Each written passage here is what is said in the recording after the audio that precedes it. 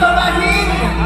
Ang sarap damahin ang pagkakapanalo natin at magsasama-sama natin papunta sa pagwawagi. Malapit na malapit na. Kapit na maglagbing ball!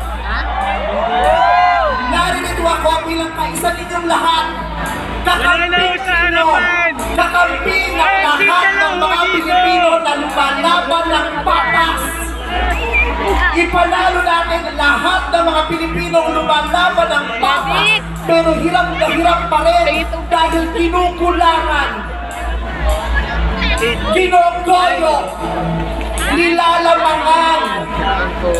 Inuunahan, tinatanga, binobobo para sa kanilang ikayayaman. Napakaraming Pilipino ang lumalaban ng patas.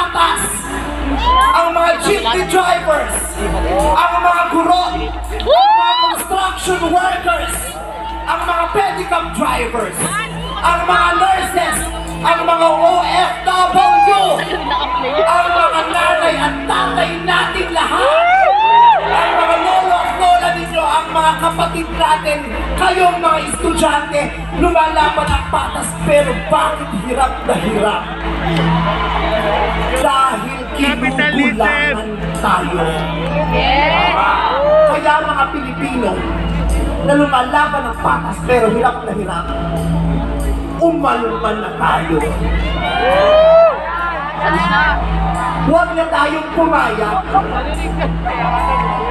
Umalma tayo sa lunes. Bumoto tayo. Robredo at Pangilinan. Ang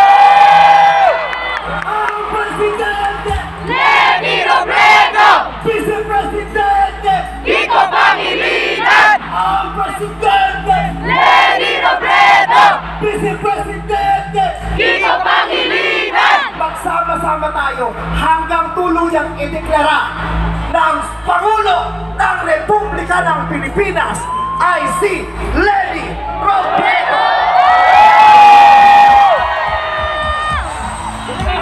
Pilipino, sa lunes, ipanalo natin ang ating ina, ang ating inang bayan na pamumunuan ng ating ina na si Lenny Robredo. Magandang gabi sa inyo lahat. God bless you, Batang people!